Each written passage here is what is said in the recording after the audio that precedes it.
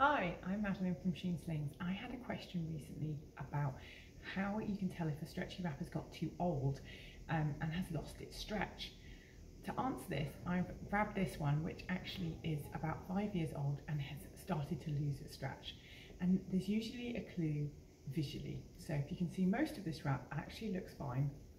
And then as we get down to here, there's a bit, do you see there's a bit that's all puckered? It's a bit puckered and I don't know if we can see very well on the video, but this bit's actually really thin. Oh, there we go, we can see it's really thin compared to the rest and it's puckered and it's not behaving the same. It's all, in fact, really stretched out. Um, and actually, this wrap's about five years old and it's just this one section.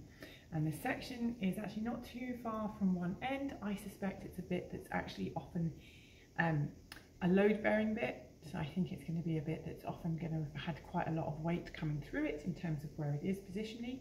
You often see this happening sort of a little bit from an end or right across the middle because right across the middle and then the, the two bits that go across here or the bits that are involved in the knot are the ones that get the most strain.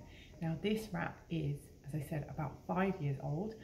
I'm about to bin it um, and it's definitely retired um, it's been retired for a while, it's just on demo, but um, it's now definitely a bin sling. Um, the person who asked me was somebody who actually had a relatively new wrap and they were worried that um, it was losing its stretch because of washing um, and because they were finding their baby heavy. When we, when I checked um, how she was using it and went through with it, it just turned out that actually she wasn't quite tying it tight enough and this hadn't mattered so much when they were little, but as they got heavier, they were stretching the wrap more. So there wasn't anything wrong with her wrap.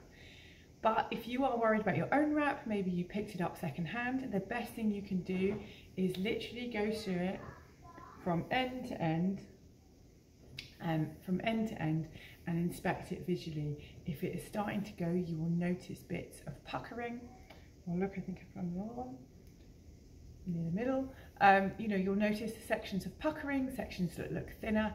If you're starting to see that or you're starting to see any holes, yep, it's time to bin your sling, sadly. But otherwise, you are good to go. It's likely that maybe you're not quite getting it tight enough or there's something we can do with technique. And if you need any help with technique or how tight to get it, um, I have loads of videos, but I can also help you online. So get in touch. Hope that's helpful.